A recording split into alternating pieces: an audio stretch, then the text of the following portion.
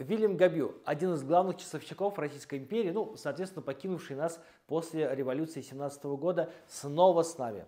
И как вы уже догадались, часы Transmatic регулятор бренда Габю – это часы недели. И это не шутка.